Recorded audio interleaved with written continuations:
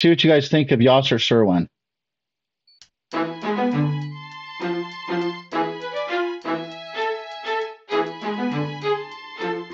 Chess has what is called its own vocabulary. How many of you know the word vocabulary? I do. What it means. Very good. vocabulary is all of the words that you know. Chess has its own vocabulary. Just like in cookies, there's ginger cookies, fig cookies, chocolate chip cookies. Right? okay. And words. So chess has its own vocabulary.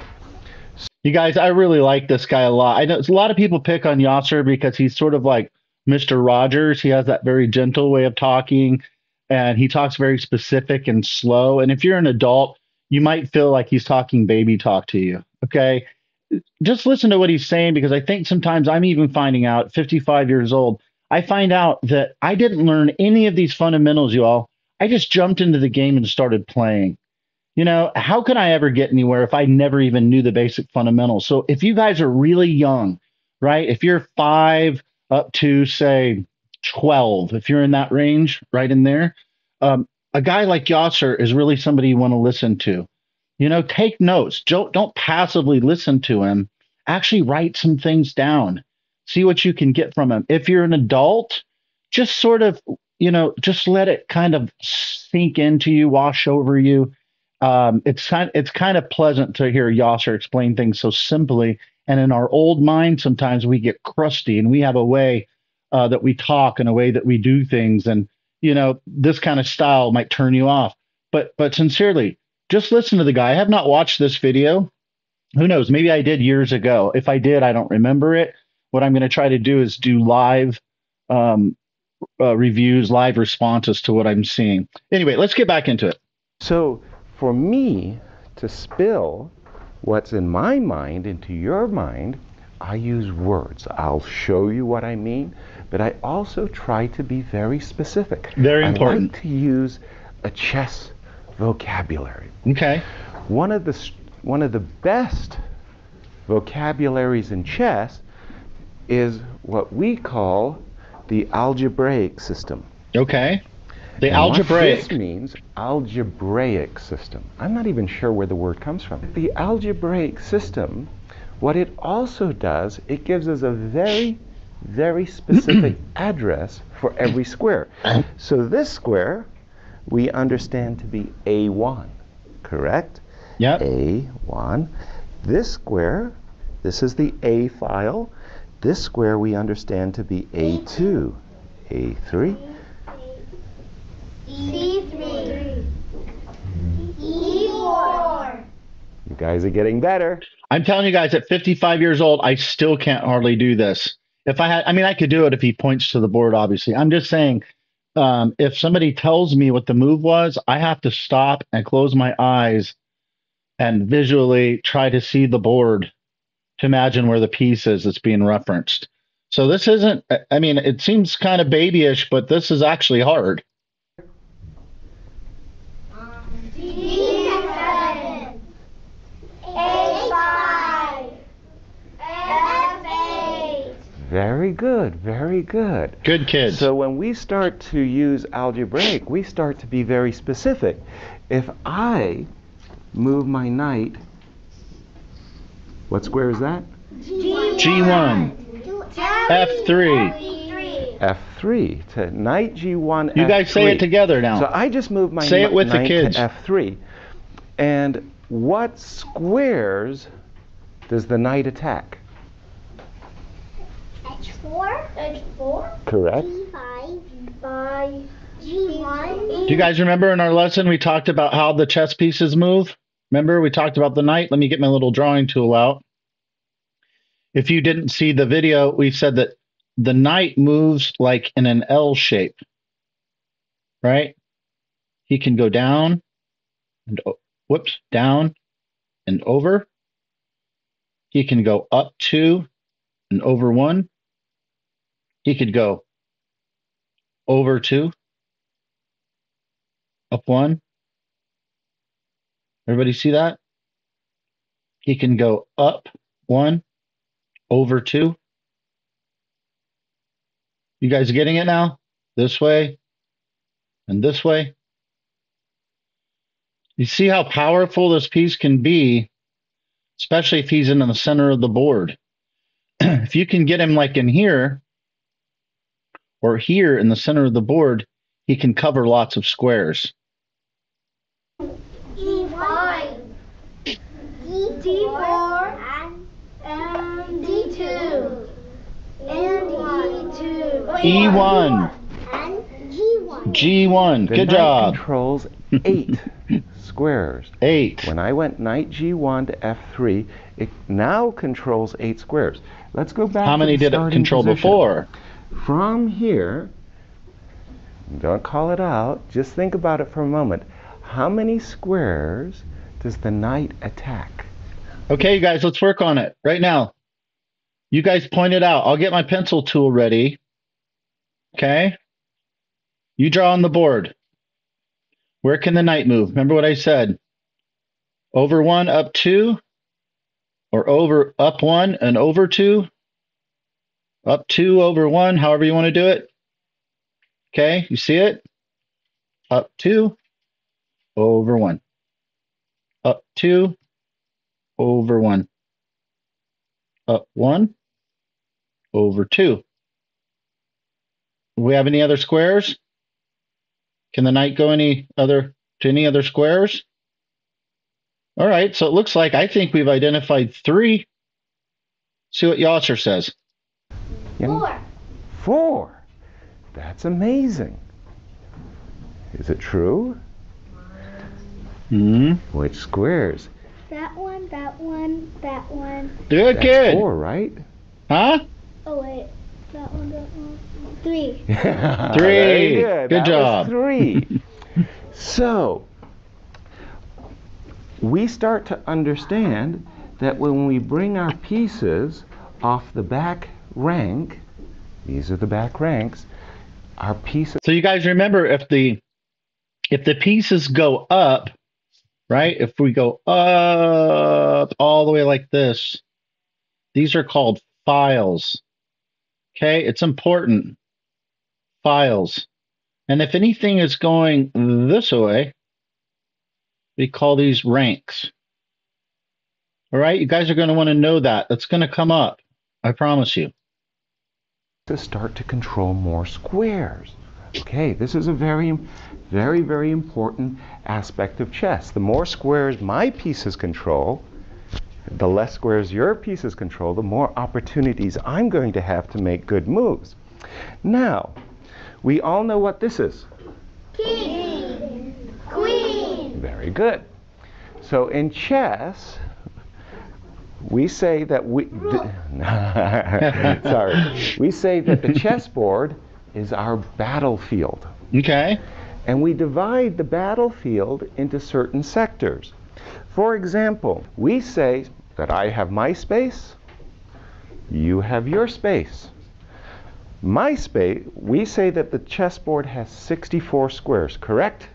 Yes. Okay, so we're going to draw an imaginary line across the middle of the board. We can call this the equator if we like. It's an imaginary line. But we say that these 32 squares Mm. are whites. I've never seen it said like that.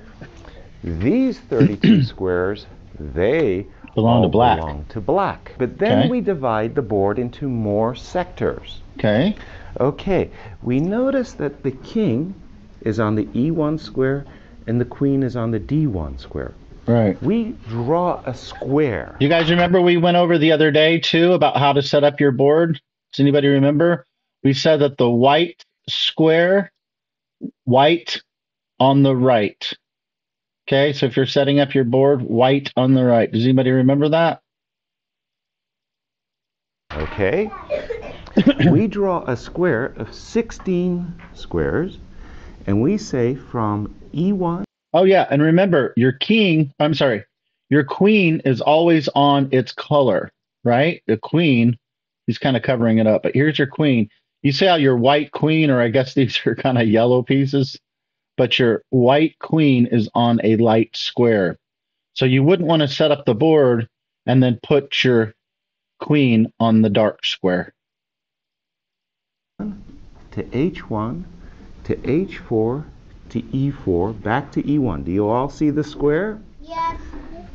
That's white's king side. Is there four squares?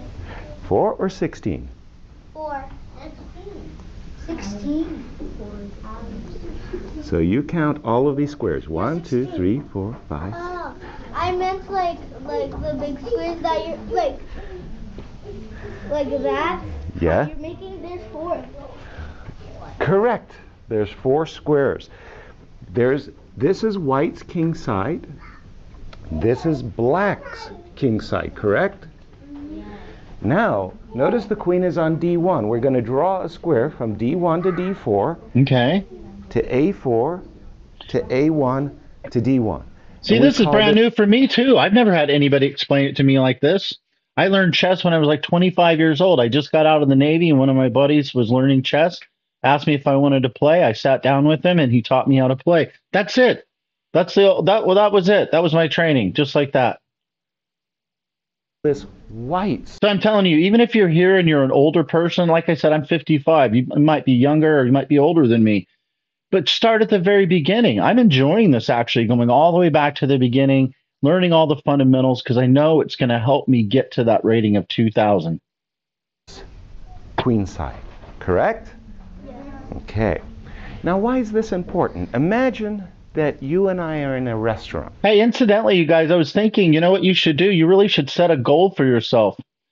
Um, maybe you want to start with 30 minute games, and you, your first um, rating you're going to try to get is, you know, 600, 500. You know, set a goal first. I don't play a lot of live games. I really need to, uh, and I'm going to. Um, but you know, I think setting a goal for yourself. What I've done is I've set 100 point increments. So right now I'm at a 792. So the next time that I play and I win, I should be into the 800s. Okay. So now that I'm in the 800s, the next goal I'm going to hit is 900. See what I'm saying? So 100 points at a time. So let's just say it takes um, a month to go up 100 points, right? I mean, think of that. That's pretty good. And and there's 12 months in a year, so that's 1,200 points plus where you are right now. So if you were rated 500 and you could achieve 100 points a month for the whole year, see what I mean? It's a it's um it's a good, cool idea, I think. So try it out. That's what I'm going to do. together. And we don't have a chess set. But let's say we're having a conversation where Oh, I- by the way, you guys, not to plug stuff, but if you'll see in the video description, there's actually a set that we used to use um, back in Arizona when I lived there. Um, it's a travel set, and it's a link in my video description. Yes, I'm an uh, Amazon associate. I don't know what they pay me, a couple bucks or something. But anyway, it's there if you guys want it. They're triple weighted pieces, so they're really nice to play. You can just roll it up and take it with you to school, or if you're an older person, you know, take it with you to work, take it to the park. It, it's um, it, it really is nice to have. He said, How did you do? And you said, I won. How did you win? I checked it, checkmated my opponent on the queen side. So Mhm. even though I don't even have the game score in my hand, you've already conveyed to me an idea. The next thing we say is that there is what we call the center. There are two central files. Okay. Anybody could guess what they are? Yes, young man. Does everybody remember what the file is? Files. Remember I just said files. It's a file. What are these? What are these? Ranks. Good job. Silent the E file. Correct. These are the center files. And that makes a great deal of sense. Why? Because they're in the center of the board. Now, chess grandmasters refer to four squares. Four squares, and they're called the sweet center. The sweet center. Those are the four squares that You guys following that? This is really important. Um, I'm I'm still just learning this now. These four, right here, boom. Right? And then these outer squares on chess.com, we actually saw a video where he kind of went over this. And then we've got this outside.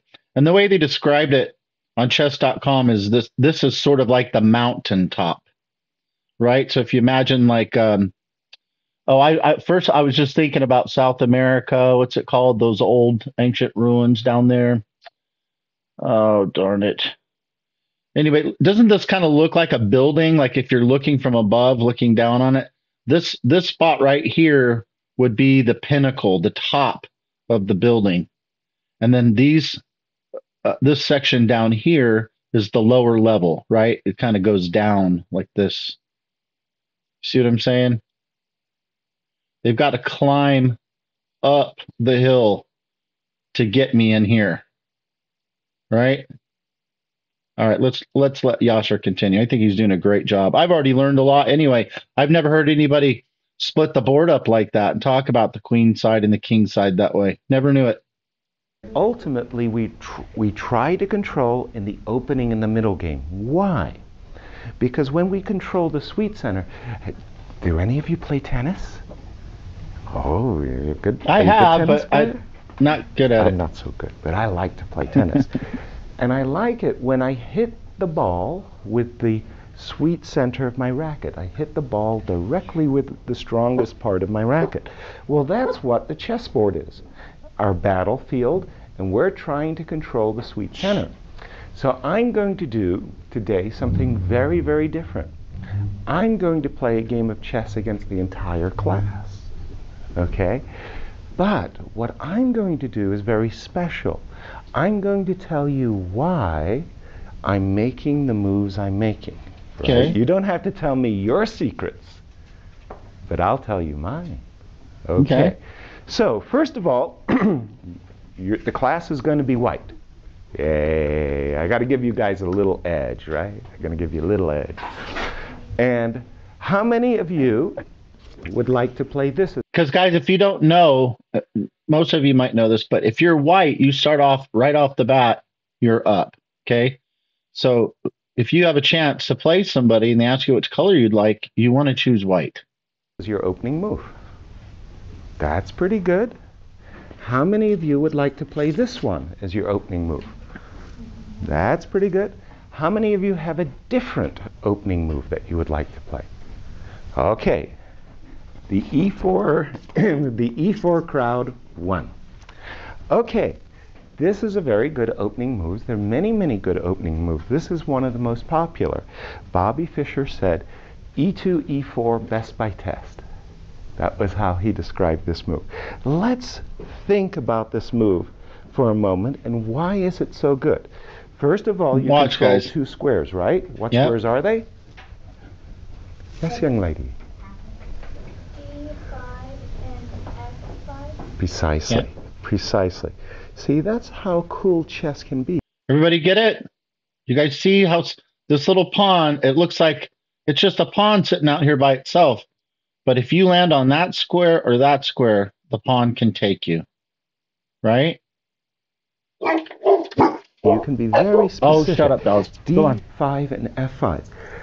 One of the other advantages of this opening move that you've just made is you've opened up the diagonal for your bishop, correct? Okay. When and you've opened up the diagonal for your queen, correct? When you started the game, notice that the bishop and the queen could not move. With this opening move, you freed the bishop. Now, I have my space, you have your space. How many of my spaces does it's a trick question by the way. How many of my spaces in my sector of the board, my space, with this move, how many of my squares do you control? Young man, what's your answer? Two. Three. what's your answer? Zero. Two. Now, for those of you who said two, you know the young lady Sorry, you guys. Every now and again, you might hear something in the background. I have two Labrador retrievers. The doors are open, and if they see something outside in the woods here, they go barking. So, apologize. Sorry, the young lady has already said two, but that's at least two, because this bishop controls how many of my squares? Wait, what was the question? Now, for those of you who said two, you know the young lady. Sorry, Yeah. the young lady has already said two, but that's Right. at least two, Okay. because this bishop controls how many of my squares?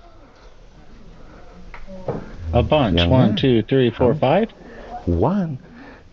Does it control this square? I thought you were talking about the middle. Oh, I meant the bishop. So how many of my squares does that bishop? So, you guys remember again? Here's what he's asking you. He's saying the bishop, remember how the bishop moves? The bishop moves on a diagonal like that. You guys see that? And this is why this move, Bobby Fischer said, this is the best move, best by test. The reason why is because as soon as you moved this piece to e4, you let two pieces out. You guys see that? Those two pieces can stop on any of those squares where the arrow line is. So just by moving that one piece, now had he moved this piece to D4, the only piece he let out is this piece. Make sense? Okay? Six No, of two, my space, of my space. two, Two. So hold on. We have two plus two equals. four, None of you got the answer right, and that's not even the right answer. five. Correct. It's five. Why is it five? Young lady. Uh, queen can go up to there. Yeah. H5. So with that opening move, you control five of my spaces. Now, what I like to do when I was young, and I still do it today, is I like to build a fortress. Okay, what do I mean when I build a fortress? First of all, we all know that checkmate ends the game, right? Yep. So I want the safest king I can possibly have. So I like to build a fortress. How do we do that? I'm going to play here, and I'll show you how I build a fortress. How do we build With a fortress? this move, how many squares of yours do I control? No. Three. Three. You guys have eyes I don't have. I recognize that my bishop controls two. This pawn. No, this pawn doesn't control any of your squares. My queen. So what's he asking here? I mean, obviously you guys understand the same principle, right? When he moved this piece up, this piece is now attacking these two squares. If anybody lands on those two squares, this pawn will take them out. Okay? And then what ends up happening here is he only let one piece out. His queen can only go to there. That's no good. His king can only go there, but he doesn't want to move the king. He only let out one piece. Right? We go one, two, three, four, five. Right? Plus the one he's already on, but he controls those five squares. Okay. Queen. It's only two. Okay. Your turn. Tell, yes, young man, what would you like to do? Um, queen. H5. How many of you would like Now, you guys, I'm going to tell you right off the bat when you're young, especially when you're young, um, adults do it too, but the queen is the piece that most kids love to move. They want to get the queen out and have it fight. And just because it's so powerful, they can't wait to use it. But a lot of times, what ends up happening, they'll keep moving that piece around all over the board and they never develop their pieces. Okay, they never get developed, so they don't have anybody to help the queen checkmate the king. So you want to be really dubious about moving the queen out first. Um, we haven't even gotten there yet. I don't know. Hopefully, Yasser's going to get into this. But typically, what they say is you're going to move knights before your bishops. Okay, you get your pawns out, And then the next thing you do is you want to get your knight out and you want to get your bishop somewhere. Okay? to play queen to h5. Raise your hand. Leave that you queen like alone. Queen h5? You like to every? Would you like to play queen h5? Okay. I do. You you do too. Excellent. Excellent. Okay. Now I'm going to share with you what the queen on h5 does because probably many of you know the idea of bringing your bishop and then with your bishop here and your queen here, you're going to Mm. have a direct attack. But when I was a beginner, I loved my queen.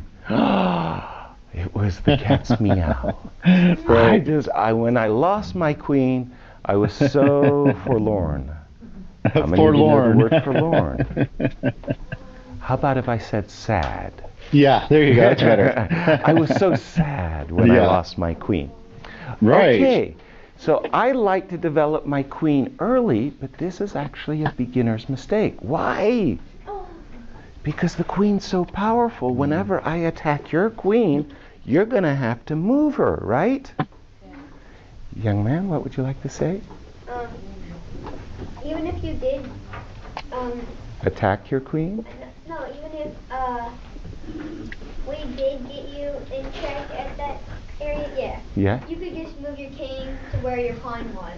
that's true. That's true. But I'm not even going to give you the chance to get to that area, also called F7. And young men, You to take the queen. Correct. See, when I attack your queen, because it's so powerful, I'm usually going to attack it with something less powerful. So you're going to have to move your queen. So I'm going to bring my knight to f6. no. Yes. Yeah. And this is called. Everybody see that? Okay. See what he did? He developed, and look what he did. Down one, over two. He's attacking the queen. Do you see that? Now the queen just moved out there. Now the queen's got to move away. It's got to try to find a square to get to that's safe. Look at the other thing the knight did. Now we can go down two and over one and we could win the pawn. So this is called a fork. Okay. Whenever you can get two pieces like that with one move, it's called a fork. It's a fun move. Do you know what this is called in, in chess? Say it. No, that's an attack. This I just is an told you guys. against your queen. But it's also. and pawn. Correct. It is a fork, actually. Correct. Fork. I am attacking your queen. It's a double attack. A fork is a double attack. But it's also called gaining a tempo. Gaining a tempo. What do I mean by that? When it's my turn to move, I'm on turn, right? I I make a move, it means I I used a tempo. But when I brought my knight out, I attacked your queen, and I'm going to force you to move the queen. The class, what would you like? Where would you like to move your queen? Yes, young man.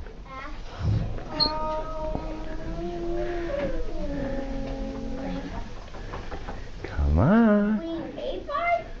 Queen A5? That's a square. Okay, we get that. b5, that's check. Uh-huh. Ooh, how many of you like to play queen to b5 check? Excellent. No, no, no, no, no, no, no. No. You attack us again. No. You would like to play Oh, that's I I I have think another idea. I have another idea. What's that? The bishop to B5. Okay. So we've got two candidate moves. Okay, do you know what the word candidate means? No. No. Yes, young man. May I think that that means that two pieces control the checkmate to the Oh yeah, you need you need Well, to do it. a candidate is kind of like an option. You have an option.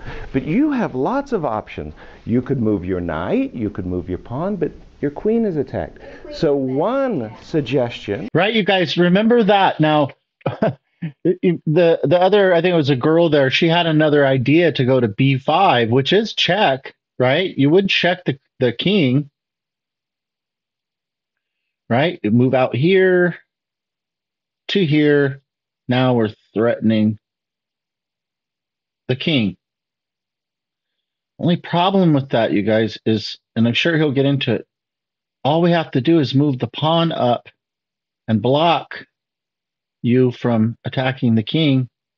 And now we're attacking two pieces. The pawn is attacking the bishop, and the knight, it's attacking the queen. So now you got big trouble. Deal with the problem you have first. When your king queen is under attack, you want to get her out of there. Was to go check. You can still attack us with your pawn. Correct. That's what I'm going to do. If you're attacking with something but not a knife, then you can block the attack. Very Correct. smart. Very smart. And the other thought he saw option that. was to play bishop. So you could check me with your bishop or your queen. How many would like to check me with their bishop? How many would like to check me check me with the queen? Ooh, that's a that's a tough call. Let's try it again. With the bishop? That's a lot of hands. With the queen? Less hands. We're going to let you guys play bishop. Correct. It's a bad move. Why? Because the knight's still attacking the queen. That's right. After after I block the check, your queen Right, but remember, guys, you're in check. When you're in check, you have to handle the check. You can't take this queen right now because you're in check. You have to deal with that first. But he will, and then he'll still be able to attack the queen. So let's watch. is still going to be attacked. Now, I'm going to block the check with my pawn because I'm very clever. Ah. now I'm attacking two pieces. I'm attacking your bishop and I'm attacking your queen. Yes, young man. Bishop, a double pawn on kind of like a double attack. Well, if you take my pawn on c6, you win a pawn. And it, But then I recapture your bishop, and who who got the better deal? We're negotiating. Yay! Why? Because another move now will pin you by going queen b5. Okay, Bishop's worth more. correct, because a bishop is worth three pawns. Okay. Ooh. you guys remember in our videos we talked about that? The bishops and the knights are worth three points. The rooks are worth five points. And the queen is worth nine points. Pawns are worth one. So, so I I did a real nice trade. I like you people. You're my favorite people. Now, your queen is attacked. Where would you like to move your queen? Would you like to bring it here to put me in a pin? How many would like to do that? Wow, that's exciting. How many of you would like to retreat with your queen? Very calm, safe. I have another idea. Another idea. What's another good idea? Uh, wait. Now, don't forget, I'm also attacking your queen and pawn. Yes, young man. But after we come here and you move your pawn to Did you guys hear the clue? He's attacking both of these pieces. So if the queen moves away, maybe we could move it to a place where it could help to defend our pawn. See what I mean? We've got to move. We're stuck here. He's going to take us in the next move. If we move away, he's probably going to take this pawn. So how could we do how could we make a move that could maybe protect that pawn? What anybody see that? Couldn't come here, right? Because he would just take us. Could we come here? Protecting? Yes. Could we come all the way down here? Protecting this pawn? Yep. We can do that. equals 14. So after we take the knight. Okay, so you're suggesting that when you bring your queen to this square, this pawn protects my knight. If I move my pawn, You guys notice what's happening right now? Look how many pieces Yasser has on the board right now? One, two, and three. Look how many pieces you've got. One, two. And all you're doing is just you've moved the queen to here. Now you got to go over here. Then now this piece, you just ignored this piece. So now the knight's going to take the pawn. You know, what is the queen doing exactly? Pawn, you're going to capture my knight, right? Well, thank you for sharing that. That means I'm not going to move my pawn. I don't want to lose my knight. Okay. Another move you could. Which one? Hey guys, that? I want you to think of something too. When you're playing, let's say you're playing white, okay? I want you to start thinking about what is your opponent going to do. Okay? He wants that queen. This you just keep putting that out there and in his mind, he wants that piece. What's a way that he could attack the queen and make it move away again? Anybody see that? What's a piece? Let's use our smallest piece we can think of. There's a clue. The smallest piece we can think of to kick that queen out of there, attack it, and get it out of there. Does everybody see it? How about this? The pawn moves up one. Now we've got another piece developed. We're attacking the queen. Okay? I think Yasser's doing a great job. Okay, queen to f7. You mean to capture the pawn with check? Okay. What's wrong with that, guys? Anybody see what's wrong with that? Can the rook take? No. About the bishop. Bishop only moves that way and it's blocked in. It can't it can't even get out, so it can't do anything, and it's not on the right square. Knight can't do anything. Can this knight get over there? Nope. Queen?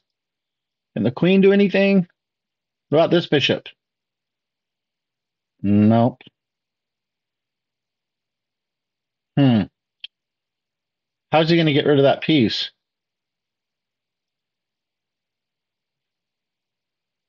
Did you guys think about it? Look at this, guys. All he's got to do is use his king. Remember, the king can move one square. So the king just comes out and takes the piece for free, and you just lost nine points and probably the game. Could I take your queen? Yes. Yes. Would you like to lose your queen? No. Oh, no, no, no, no. Okay, we're going to let you play this move, and under normal conditions, I would capture your pawn very happily. But I'm not going to do that. What I'm going to do is I'm going to show Well, you he's what I teaching like you. to do, which is to build a fortress. I play the move g7, g6. So what's the idea? Does anybody ha- does anybody know what the idea behind this move is? Yes, young man. The um, we do king when somebody checks it. Yes, space to go. that's correct. I I but what this move does, it's a, it prepares my fortress. What I want to do in uh, the 16th century, how many know what the 16th century means? 1500s. Yeah. In the 16th century, the best chess players in the world were Italian. They all came from Italy. And they created what they called the fianchetto. So when Guys, I hate to um, correct Yasser on this, but Hikaru does it too. I had to look that word up. Um, it's spelled with a CH, fianchetto, and so most people say fianchetto. Uh, but the Italians don't pronounce it that way. They pronounce it with a k, k sound, a K sound, k, right? So it's actually fianchetto. But the idea is to basically get the bishop there in the corner so that you can castle. when I put my bishop on the long diagonal, the long diagonal, that's called a fianchetto.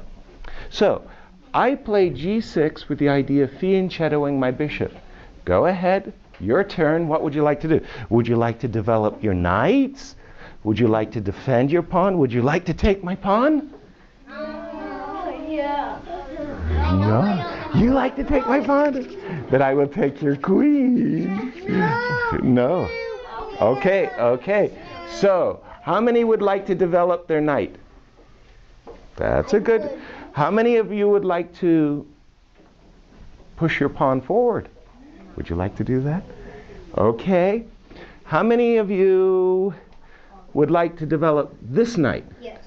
No. Yes, okay, that's a solid majority. We're going to go with the solid majority. Guys, Now, after knight f3, I play bishop let's look at this for a second. He's going to let them do this, but why do you think that that was not the best move? Why would you want to come here? This is the threat. Everybody see that? He's threatening to take the pawn. We got to help the pawn. We could have moved our pawn up to protect. We could have moved our knight to c3 to protect this pawn. You guys see that? I want you all to really notice that. Super important. If this piece is hanging, you don't just leave him. Would you leave your buddy behind if he was going to be attacked? You're just going to let him die on the field? No. We're going to come over and give him some help. All right, let Yasser continue. Seven. Castle. Okay. So I create my fianchetto. Now, how many of you would like to castle? That is a very, very good move. Now, I'll just tell you a quick story. I had castling is very, very good because it brings your king into safety, correct? Yeah. Yes. I had a very good friend. He passed away, I'm sad to say. His name was Edward Gufeld. And he was a chess grandmaster from the old Soviet Union. Hmm. And he was the trainer of the Soviet women's Olympic team. Yes? And he was very nervous about his team, how they were going to perform, because there was a great deal of pressure for the women to win the gold medals. So he would come to the games late, and as he would enter the playing hall, he would look for a Soviet person and ask them in Russian, How are our women doing? And usually the answer was they're doing fine. And then he would ask the next question, Have they all castled? And if the answer was no, then he would say, he'd shake his head very sadly and say, We have to train harder. you guys, hold on. I want to see if I can get a picture of that. Let's see. I'm going to hit this little icon, see if it takes his picture. That's funny. No, I forgot what I was going to say. Oh, about castling. We haven't even gotten to castling yet, you guys, and it sounds boring. Like a lot of you aren't going to want to do this, you know, move my pieces to the center, and then I got a castle. You, I was like that too. I think all of us are. You know, there's something about, I don't know if it's just Americans in general. We don't tend to listen to people. We want to do it our way, right? I'll find my own way. I'm going to move my queen out. I'm going to, I'm going to forget all of the rules. I'm not going to listen to anybody. I'm so smart. I'm going to do it my way. I can just promise you all, I've done that. I don't even know how many times, played the stupidest moves because I didn't understand the fundamentals of the game. And I can just promise you, if you want to start off in the beginning and be really good and accelerate quickly, you listen to what he's saying, develop and castle. And even though we haven't gone over it, let's just do it real quick. If you're watching the video, I'll show you. He it doesn't sound like he's going to go into it too much. But this king right here, it's called a castle. He has the option, if as long as he's never moved, okay, he can't be under attack. Like if this knight weren't here, the queen would be attacking him. He can't castle. Okay, so remember that. But if he's not under check, what he can do is in one move, watch this, guys, in one move, he can move over two squares. When he does that, the rook knows, hey, you're exercising your right to castle. And this rook will flip all the way over here. And it's done all in one move. Isn't that pretty neat? So you can get your guy in the corner, and now you've got this bishop protecting you. You've got this knight protecting some squares around you. Got your queen, right? We'll get into castling more. We haven't even covered that yet. We're just getting into learning how to set up the board and how the pieces work. So castling is very good, and that's what I'm going to do. I'm going to castle. Okay, now let's compare for just a moment. Let's compare for just a moment. You've castled, and I've castled. But I've done what is called building a fortress. Why? In front of my king stands the bishop, nicely protecting. Besides my king stands my rook, nicely protecting. And besides that, I have a knight, like a sentry, a good guard, and I have a beautiful pawn shield in front of my king. Compare. You castled, you're safe. Your rook is next, your knight is, and all your pawns are safe. So you have a good pawn shield. I have a good pawn shield. The young man made an interesting observation, though. Also, by my fianchettoing, if we take away my bishop for a moment, my king also has a square. At the moment, at the moment, you're vulnerable to back rank checkmates. How many of you know what a back rank checkmate is? Very We haven't good. gone over that yet, guys. You guys should be teaching this class. What am I doing? Okay, now it's your turn. And keep in mind the opening has not gone very well. I'm No. sorry to say. I'm a pawn. I have a, I have a bishop for a pawn. Your turn. How many of you would like to develop this knight? Raise your hands. How many of you would like to advance your pawn so you could? Ad- yes.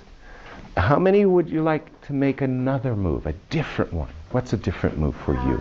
Uh, rook E1. Rook e1 is an excellent move. You're defending the pawn that I am attacking. You've already castled, so you've already brought your rook into play, so it will cost you a tempo. You'll be moving the same piece twice if you move your rook. How many of you would like to move with your knight again? Guys, I want to cover that really fast. Okay. Tempo. You're going to hear that used a lot. What it basically means is you're, you're allowing him to move basically like more often than you have, right? You're you're you're making Pete like that queen move. He's moved the queen now once, twice, not developing any pieces. And and look at you know, look at black over here. Look at how he's so developed. He's moved here. One, two, three. Um, this four. Plus his pawn took a bishop. That's five. Right? You've got the castle you've done here. One, two, three, four. So you see how white had the advantage in the beginning, but black is up. He's got the tempo. He's got the he he's the one calling the shots now. White's not dictating how the game goes anymore. How Hopefully I you like explained that right. Your pawn. Okay, so if I make this move, does that have your support? Yes. Yes? Okay. Now, in this moment, remember what I said about your queen and how powerful it was? If I attack your queen, I'm developing my pawn, correct? Yep. I'm moving my pawn from its original position. So I'm developing my pawn, but I'm doing it with a gain of tempo. Tempo. Because I'm going to force you to move your queen. Okay, so now your queen Right, is guys? you that's the third queen- time the queen has had to move. That's for me. And he got to develop So where another would you piece. like to move your queen? Think about it for just a moment. In the back. Jen- Well, here's what I'm thinking. Um, I, that queen's been causing trouble, hasn't it? Every time I move the queen somewhere, he attacks it and causes me to have to move away again. And I keep moving and moving. Eventually, I'm not going to have any squares to move to, and I'm going to be, uh, I'm going to be in a position where I could lose my queen, or I'm going to have to send my queen all the way back home, probably where she should have been in the first place, right? She probably shouldn't have come out this early. So it's all wasted. It's wasted movements. Young man, what would you? Where would you like to move the queen? Um, queen to B3. Queen to. So you would like to retreat your queen to this safe square, correct? And it's attacking that pawn. That it's one attacking one of the pawns. And it's. Okay. Okay. It's, it's attacking a pawn and it's doing a fork. Uh, and it's doing a pin. Okay. So we so I think a lot of you would like to move queen to b3. That's a good move, right? Yes. Yes. Yes. Yes. Now, let's say, hmm, you guys have me under uh, some worries here a bit. I'm a little bit concerned. What am I going to? I see a move. Anybody find a good move? Well, I don't know if it's a good move, but if you wanted to, you've got that queen on the run. What if? And the knight really shouldn't go to the side of the board, so this might be bad advice, but I'm just saying, what if the knight did something like this? Up one and two over. What does that do? You see it? Remember how the knight moves. I move here to the side of the board. Now I'm attacking the queen again. That queen is running out of options. No. Okay. I see that your queen is attacking my pawn. Correct? Correct? So I'm going to move my knight. Hey, he did it. So my knight protects the pawn and attacks your queen. Now again. Ooh. Oh, boy. Yes, young man. That queen's been trouble. What would you like to do? Okay, exactly. My knight's attacking your queen. You don't move your queen. That's for me. That's for me. Anybody know what the score So- is right now? You guys remember what the score is? It's important. How many points was the bishop worth? You said three, that's right. And we lost a pawn, or he lost a pawn. And how many was a pawn worth? One, right? Three minus one is two, correct? All right, so that means black right now is up two points. If he gets that queen, add nine points to that. That's a lot, right? Okay, let's move How on. many of you would like to move the queen to c3? Somewhere. Very good. How many of you would like to take my pawn? No, no, no. But I would take your queen. Oh. So, okay, I see the move queen c3 is popular with my audience. I know another. Uh, you do? What's another move? Because if you move the knight, then it's against it. So you should move it to A3. Okay, the gentleman is making a very good point. If you had moved your queen to c3, just think about it for just a second, just a second. Remember when I fianchettoed my bishop on the long diagonal? Mm-hmm. Do you remember that? Yep. It's still there. Now, if I were to move this knight, the bishop would have what is called a discovered attack Discovered. against your queen. So we haven't done that in puzzles yet. I don't believe we've covered discovered yet. But do you guys see that? You see what he's talking about? It's kind of a neat move because you- you're getting like two moves at once. Let's say you were to move here. You just went over here, safely moved to there. Okay? You have to visually see this. This piece now is gone. Right? Everybody see that? So the knight moves away. Now the bishop, it's a discovered attack. Bam. Hitting the queen again. I hope you're understanding why you should not move your queen out early. Yeah. You see, this bishop is actually in ambush, is waiting in ambush, and I would capture your pawn, attacking your queen with my knight, attacking your queen with my bishop, and also notice that did I leave I think Hikaru Hikaru Nakamura calls these guys snipers. You know? It's kind of a bad a bad reference, but you guys remember the man that the young guy that tried to shoot President Trump? That's called a sniper, right? And then the snipers ended up taking out the guy that was trying to kill the president. This guy is that guy. The bishop is a sniper.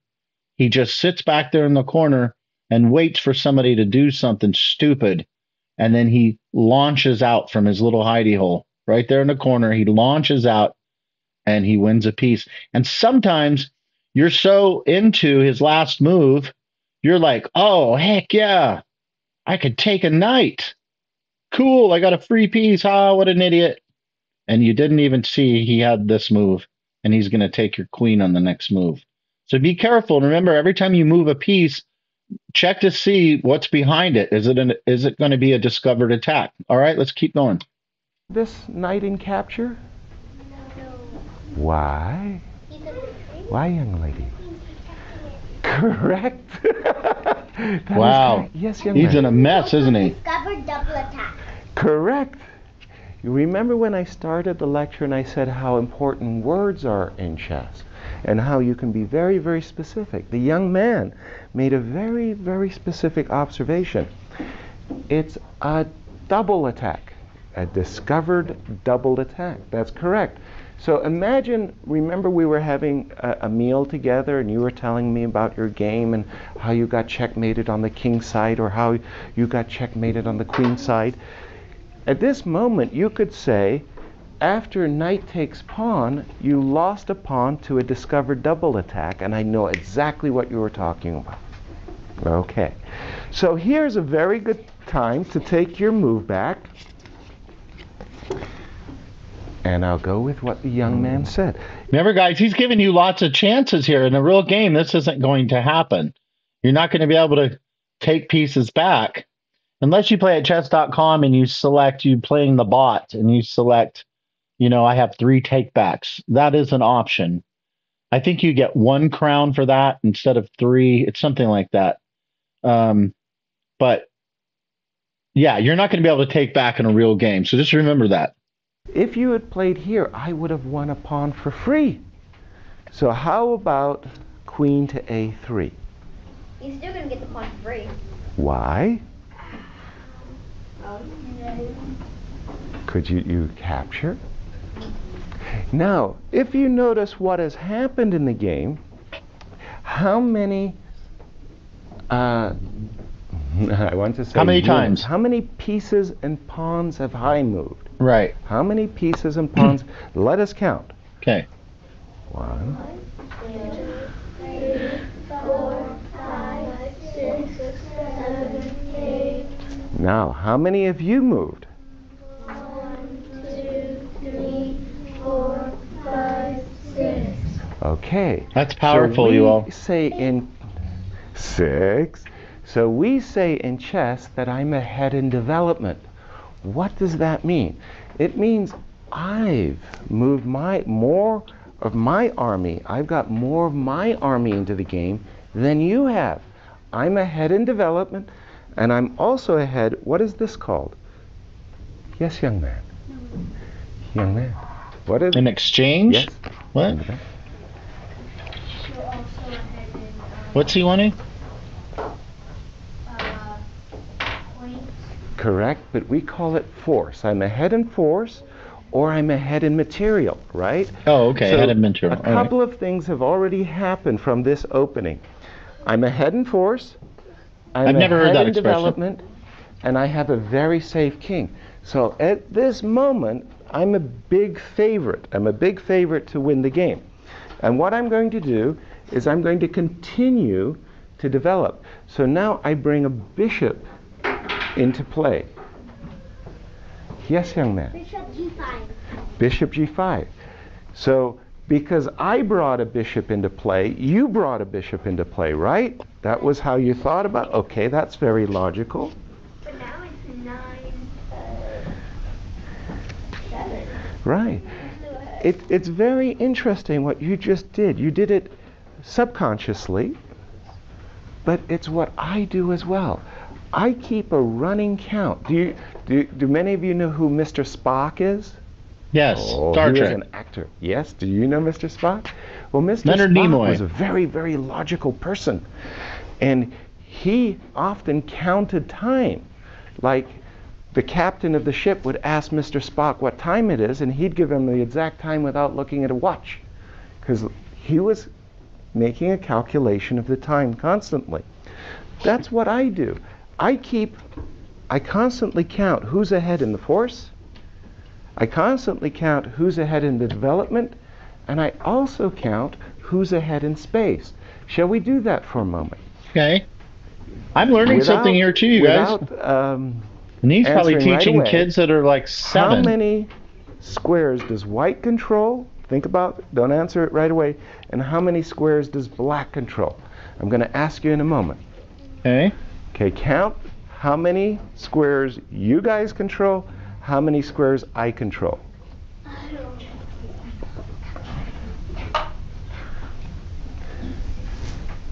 Okay, are you ready? No.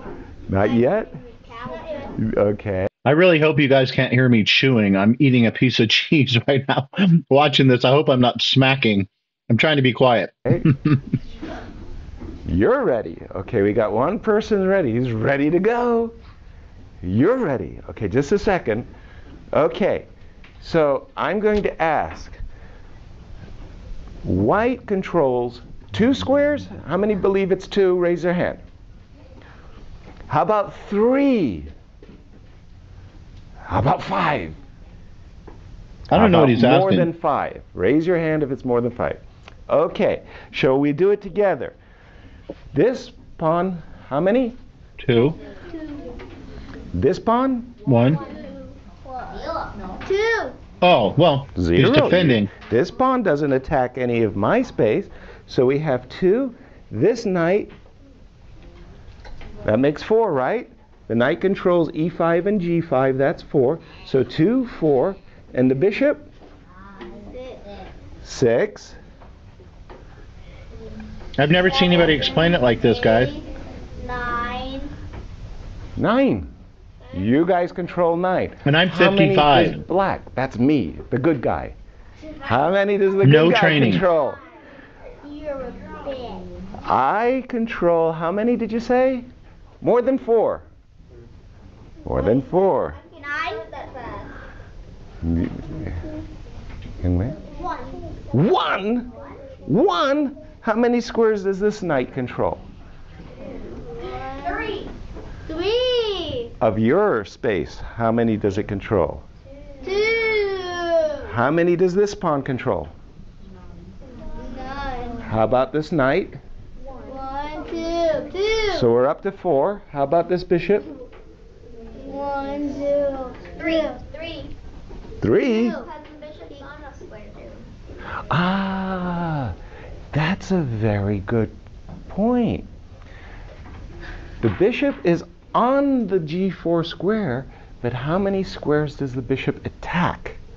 The bishop attacks h3 and f3, but we don't say the bishop attacks the square it's on. Okay? So this is very interesting. So it actually turns out that I control 2, 4, 6. Now, I'm going to take your knight. We're going to play a couple more moves and then we'll stop. I take your knight. Do you guys want to move your king? No. You want to move a rook? No. How about your queen? No. Do you want to take my bishop? Yes. How? How can you guys take it? Pawn. Yeah. Yeah. Yeah. Yeah. Okay. Yeah. That we got a a, we got a bishop. Yeah. The only problem with this, you guys, uh, white is in a mess. Look at this now. By doing that, you just moved your pawn out of the way. I mean, all of us would do that. It's a free bishop, right? We're go- we have to take it back. He took one of our pieces. We've got to take back. But I, I just wanted you to see how dangerous that is. Opening up this file like this. It's just really, really dangerous, especially if he can clear out some pieces and start getting the rook in the game. So the rook can attack, or he gets this queen over here into the game.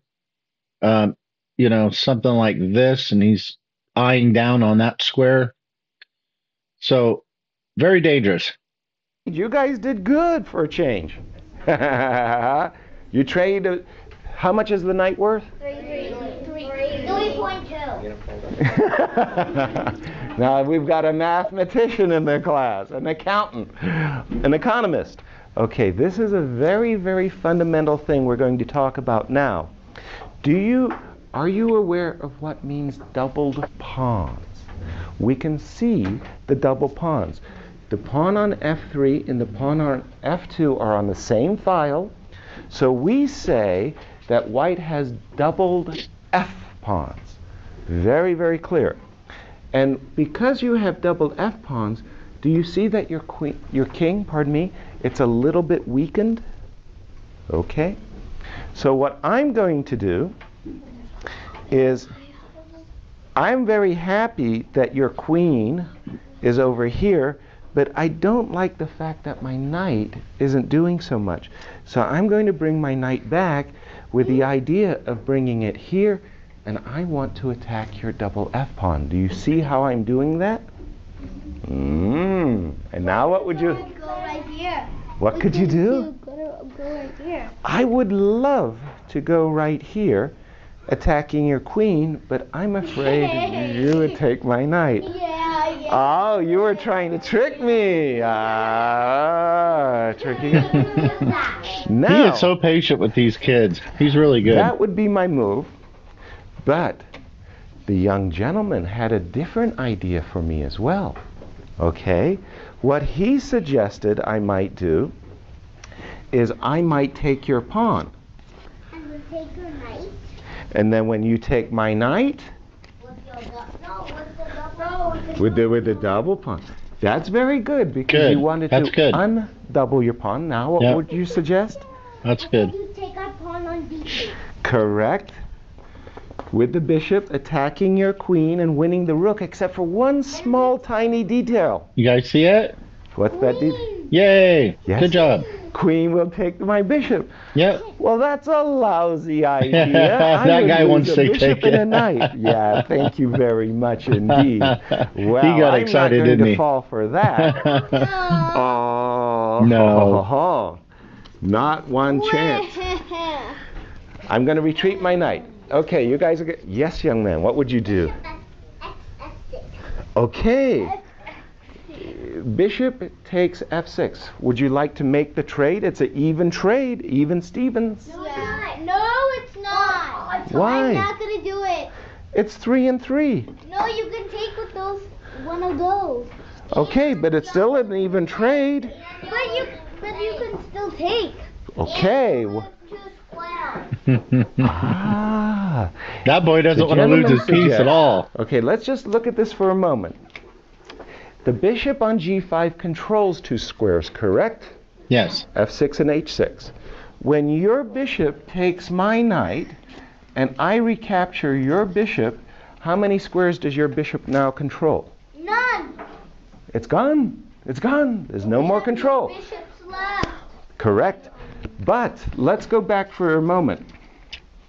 In this moment, how many squares of We got seven more minutes, guys. does Hang in there. bishop control? Ten. Ten. What? Five. Five. Five. Five? Think about it. Think about it. Let me repeat my question. No. How many squares, how many squares of yours does this bishop control? It doesn't. Well, what square does it attack? That one. That one. Why? It's blocked by the knight. That one. But that's my square. It's not your square. This is my space. This is your space. Mm, I see what he's saying. Okay. Remember out in the beginning, guys, how he he said, "Let's draw a line." I, I was getting confused. Like, what what is he talking about? He was saying, you know, right here, this is the equator line, basically, and so he's saying all of this and this, you know, all of this belongs to you, and this is your side of the board, and then I'm on my side of the board, right? Five, six, seven, and eight. So he's got these four back here, and you've got your four back here. Okay, you guys follow? I got lost there. I couldn't. I, I was trying to understand what he was saying. Now I get it. Why? Show me. Remember, Show guys, me that's why what- they That's why I call the chessboard ape. I'm just like a big monkey, man. I'm not very I'm not very smart. It takes me a little while to get things. Zero. Okay, just a second. This bishop attacks this square, correct? Yes, but that's my square. It's not your square. Wouldn't This say he defends that square? F8, correct? Yes, but there's something on it. Your square. It protects Your eight. square. Your square. So it doesn't attack any of your squares. Now, let's just imagine that you take my knight. okay. I recapture with the bishop. Yeah. Now, hold on, hold on, just a second, just a second, just a second. We've made an even trade, but how many squares does your bishop now control? Zero. Now, after the trade, how many of your squares does my bishop now control? Uh, Okay, guys, let's look at it. He asked the question, right? So we split the board down here again. I want to really get something out of these videos, even if they seem kind of like juvenile. He asked a good question. I've never thought of this. So, how many squares now does the bishop control of white's squares? Right? Wouldn't we start here? These two? Because they're over this line. Right? This square is still his. I'm sure that's what he's talking about. How many think it's two? Raise your hands. Me. That's wrong. How many think it's, It's three? wrong? Raise your hands. Oh, oh, oh, oh, guys. How many? You know what I didn't see? Oh, duh. Well, because technically, once we cross the line here and into here, we're attacking that square too, right? So it's these two plus this one. I think that's what he's getting into. Okay, my bad. I think it's? Now, this is tricky. Four. Oh, I think it is. Why is it four? Why is it? Even attacking the H4 square. It attacks H4, D4, C3, B2. So it attacks four squares. so Oh, you oh, oh. really helped me with this trade. Do you see that now? Oh, okay. Even with the pawn on it. Well, then why not count the rook in the corner too? I don't know. That's a good analogy, but okay. I thought he meant open squares attacking. All right. Look, we broke Apparently, I'm slow. That's Big true. stupid monkey. That is a consideration, but you broke my fortress, but you have to weigh it about you have to chess is a little bit about negotiation, right? You get me, I get you, but you also have to think about the result. The result. We should realize that as we calculate the force, the time, the element of space, that that trade actually favors me because you're getting rid of an active bishop and you're developing a passive bishop on an active diagonal. How many of you know the word passive? Passive. Young man, what do you think passive means? Peaceful. That's a nice word, isn't it? So my bishop at the moment is a peaceful bishop, and then it's going to become an active bishop. So we're, so how many of you would, after this long discussion, how many of you would now like to trade your bishop for the knight? Ah, well, we learned something. So we're going to make a different move. How many of you would like to move your knight? Be a good start. Bring your pieces out. Where would you like to move your knight? To D2 or to C3? Young. C3. C3. Okay. Now, after Remember, because we want to move our knights and we want to get to the center of the board so we can take up more squares. Remember when he had his knight off to the side of the board? Um, you might have, if you saw the one um, explainer video that we did on chess.com, and they said knights on the rim are dim, or some people say knights on the rim are grim. Yeah, okay, because they don't control that many squares. Got one square, put this square, two, three, and four, right? And when you're in the center of the board, we had eight. So when your knights are in the center of the board, like he's got, C3, we're better off. I have a really, really, really good move. And I want you guys to try to imagine what I would like to play I think if I I were black, D4. which I am black. So what's a really good move? What's a move that you guys got to worry about now? Young man? Um, knight, your knight to g4 because then then the bishop will be attacking your, our knight. But if I move my knight to g4, can't you take my knight? Yeah. Like you, yeah, but you, you But you win my knight. That's not good for me. No, I don't know uh, what he's going to say here, but I would see. I'm seeing this knight d4 doesn't look like any piece can take can take me. And if I get an opportunity, my next move is going to be like this, right there. And do, and if you see that, you all, what that just did, that created another fork, right? Because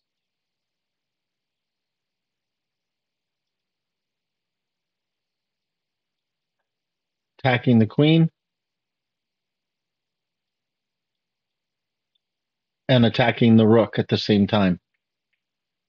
So if I can make it that far and I get the fork, he has to move the queen away and I win the rook. That's a little more of an advanced move, and I'm not sure that's where he's going with the kids, but let's see.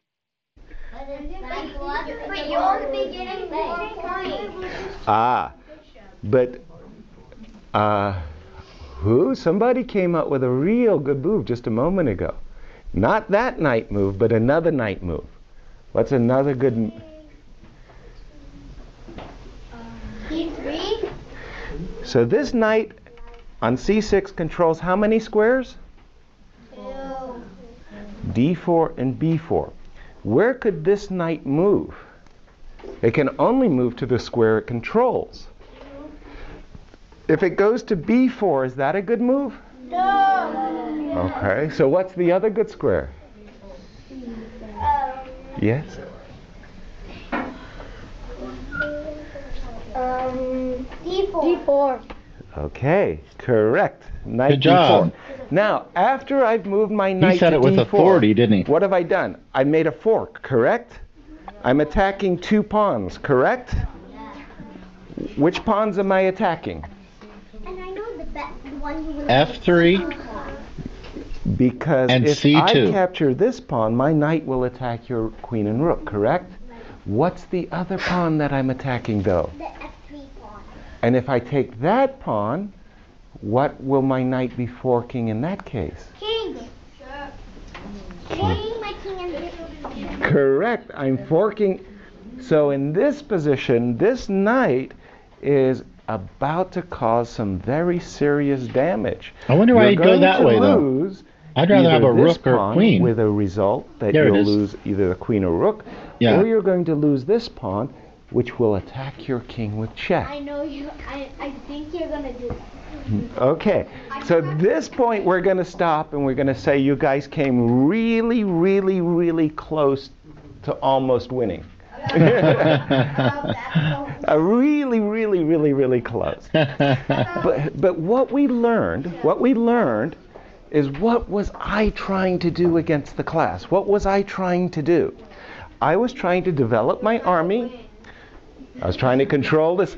Look what happened in the end, by the way. I control. And when that knight landed on the d4 square, what, what square is that called? Sweet center. So I developed my knight into the sweet center. Sweet center. That's another phrase. devastating effect. So what I was trying to do. What have we learned so far? So we got sweet center. I've never heard that expression. I don't know if that's from Yasser or if that's a term that we use in chess. And the other one was ahead in force and development. Of course, I know development, but I've never heard the expression ahead in first. Ahead in force. So we've learned that sweet center and ahead in force.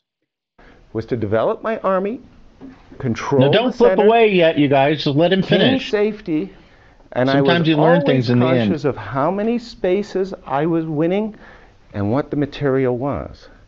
And every chess game, every grandmaster in the world does exactly what we did just now. Wow, amazing. And you know what, guys, too? Um, when you're up like that, let's say you you've got one of his major pieces, think about how simple it is at that point to just start trading down.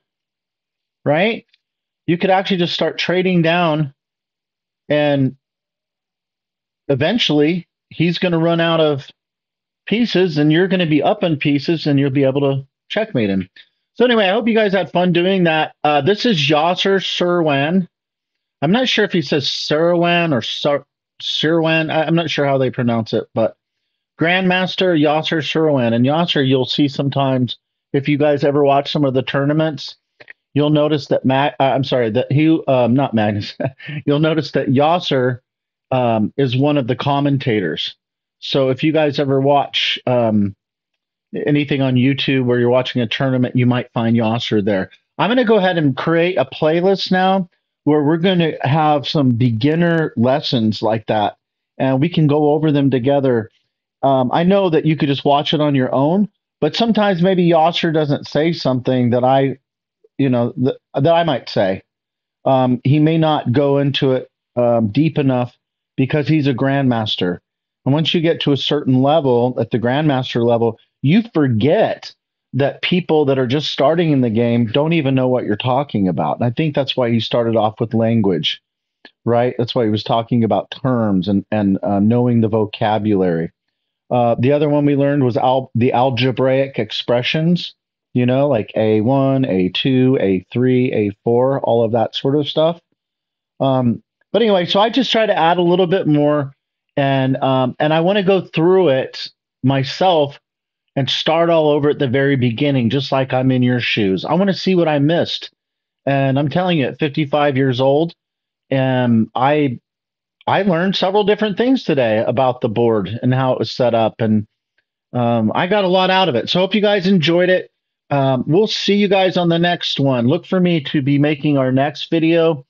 Uh, we talked about how to move the pieces. Then the next one's going to be how to set up the board, and then we can actually start getting in to uh, coming up with some strategies. Okay. Anyway, hope you guys enjoyed, and I'll see you probably tomorrow. Take care.